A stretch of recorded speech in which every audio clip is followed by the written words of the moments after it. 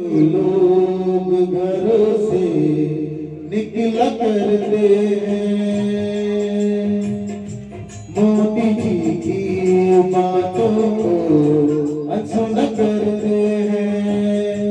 जाने क्यों लोग घरों से निकला करते हैं? जाने क्यों लोग घरों से निकला करते हैं? मध्य प्रदेश पुलिस की ओर से ये आप लोगों को मैसेज है।